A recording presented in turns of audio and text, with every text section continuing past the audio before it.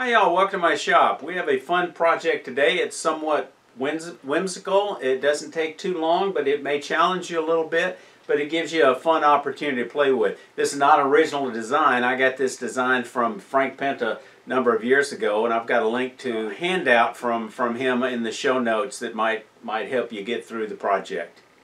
Okay, here's basically the three pieces of wood you'd need, something about this size. For the pedestal, two and a half inches square by five or six inches long. For the roof, something about two and a half inches in diameter and about two and a half inches long. For the actual birdhouse itself, about one and a half inches in diameter and one and a half to two inches uh, long. In my backyard,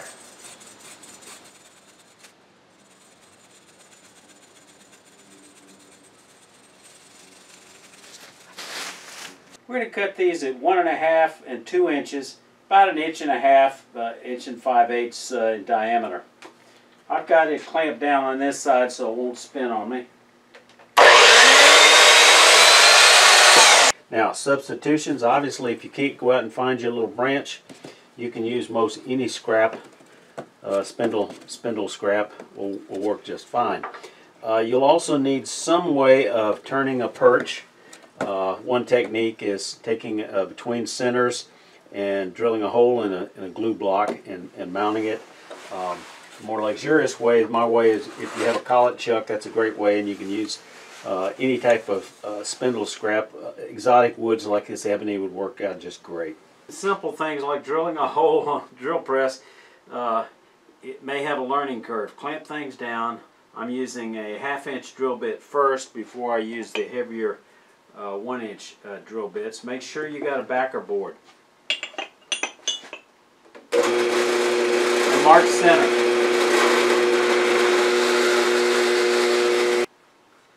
Now let's move up to the larger drill bit.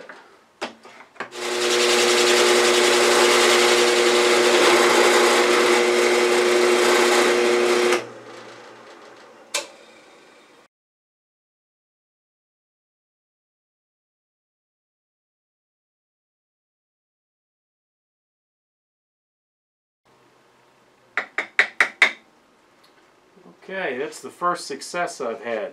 I seem to be having better luck doing this on the lathe at a fairly slow speed.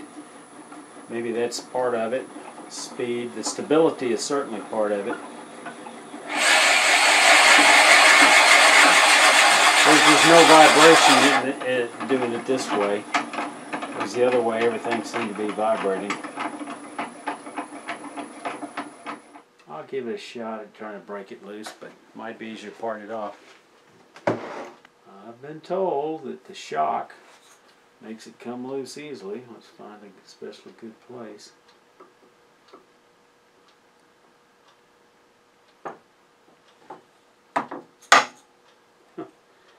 yeah, came loose out of here. Just goes to show you how tight the medium CA glue uh, with a little bit of accelerator on one end, glue on the other. There it goes. This actually seemed to be a little bit easier. Drilling at a half inch with a Forstner bit uh, first and then following up with a one inch uh, twist, twist bit. Okay, we're going to start with uh, turning the roof. Two and a half inches by two and a half inches, we turn it round. Next thing we're going to do is we're going to put a tenon on it. You're going to you're going to fit this not in your normal jaws, but you're going to fit this into some smaller jaws that'll hold a one inch uh, tenon. Uh, I'm using this set of 35 millimeter jaws by Record Power. Now, here's the, the trick with a smaller set of jaws and is that you want to make the tenon a little bit longer than usual because we're going to maneuver this thing in here. But the important thing is it can't bottom out. So in this case, the longest the tenon could be is somewhere close to uh, about, about a half an inch and this will become more obvious as we as we go on. Okay, now we're going to go ahead and turn that that tenon down to fit. Um, basically, it's going to fit in the the body of the birdhouse. Uh, it's going to be drilled out uh, one inch. So let's go ahead and take that take that down. Here's an example of what we're going to be uh, be looking at. And set that right at uh, one inch so I can double check it. So I'm going to use my uh, shop made beading and parting tool. This is 8 millimeter. Uh, I didn't get it, didn't have marks on it because I cut this all the bandsaw, so it's a little bit off. That's okay, we'll fix that.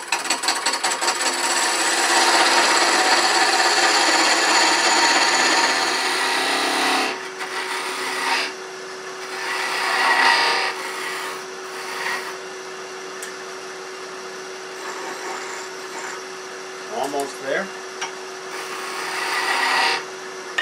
Okay. And that's good. Okay, now let's go ahead and take this off and put it in the chuck and start turning. Instead of using 35 millimeter jaws, we're going to use these spigot jaws, in which case uh, I could have used a little bit uh, longer tenon because I've got a little more room, but I think this is going to work out. Actually, this is just about right.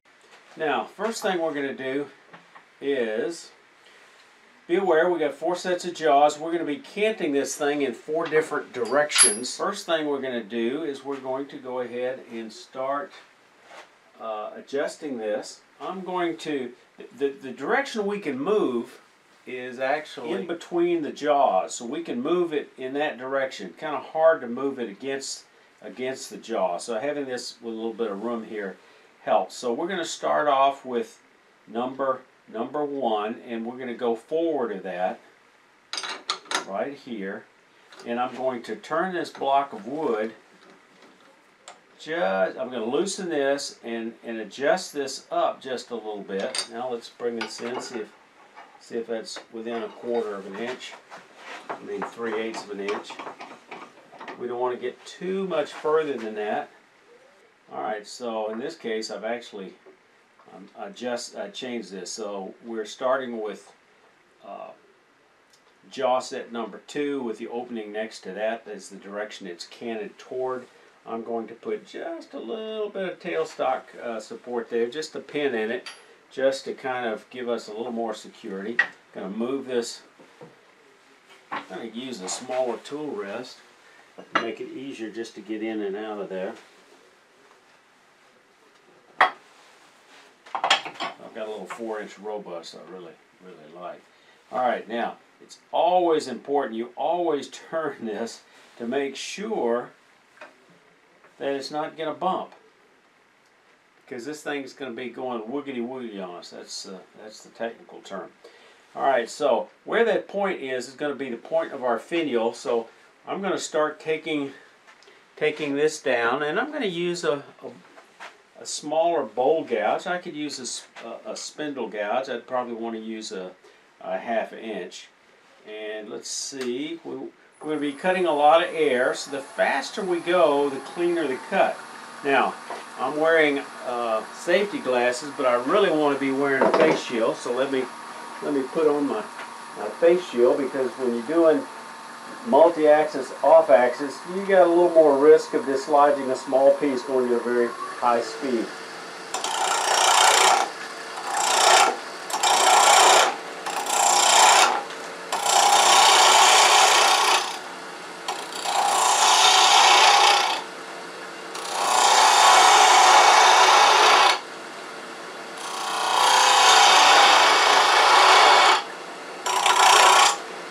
And I'm just going to turn this a little bit down to a cone here because we're not going to need all that wood later.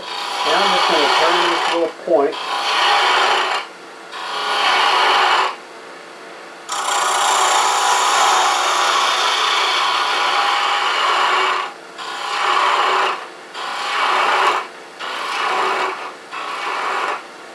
Okay, we're going to now we're going to get in there with a uh,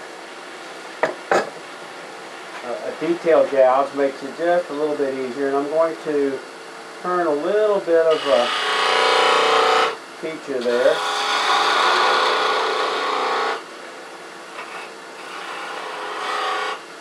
Now I'm going to remove this. I have to to get to be able to get the tip of this. So I'm going to use very light strokes, very sharp tool.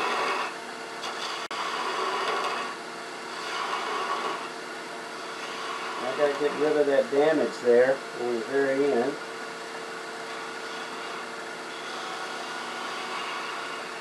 I think I've got it. Now, a very important consideration is you always have to sand before you go to the next turning because it's going to be in a, a different axis when you come back to it. So I'm going to use a little 260 grit and just just touch that up a little bit. Need to put a little sanding lubricant on here. And I think 260 uh, grit's going to be fine for this.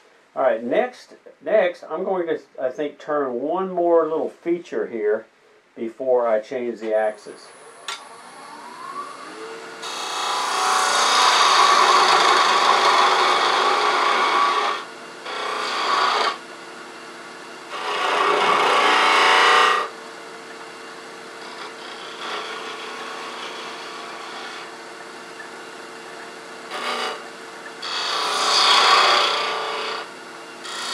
Light touch, light touch. Okay. Now we're going to change the axis again, and I'm going to keep going in the direction I'm going. So in this case, we're looking at the one in front of the two. So now we're going to rotate it around, and we're going to lean, cant this, if you will, toward, get it flat, and then lift it up in between number three and four. And then tighten it up.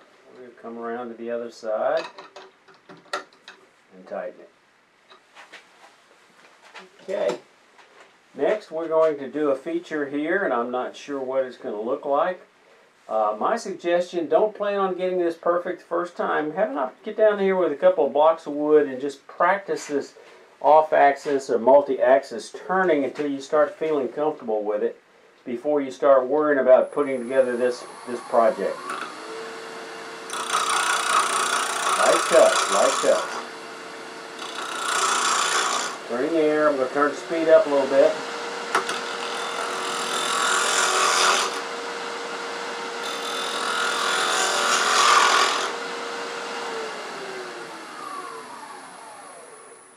We're going from small to large, so I've got to think a little bit about proportion. Uh, the first one I did, not too bad. It's going from small to large, except it should have been maybe a little bit smaller here. So I want to turn this one down to a little smaller, smaller radius or diameter, if you will.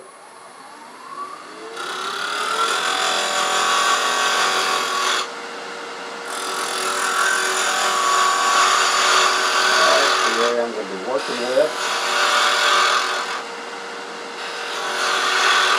Now I see the shadow. I see the shadow of this right here, so I've got to be very careful not to get too carried away. I can only come down here just a little bit more before I start getting into this bottom feature.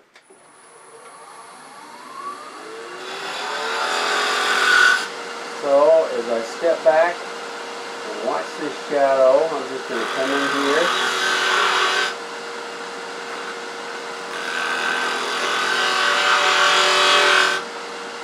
and see what that looks like. And make adjustments. Let's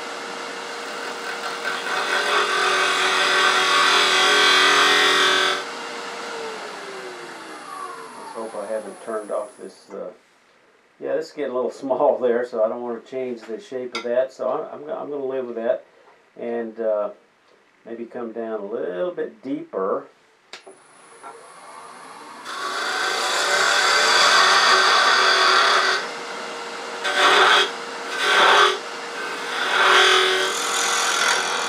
Again, just watching the shadow, make sure I don't get carried away. And get into the feature we've already. I got a little bit of my beeswax and uh, mineral oil concoction. If you're not familiar with uh, sanding lubricant, check out the, the link I- I'm showing here. And I can get, I can turn, I can sand that area in here without too much trouble, being careful. Alright, so can I get one more before I go to uh, Centering it, I think I probably can. So let's go to the next one around, which is between one and two, which is the one we didn't get first time.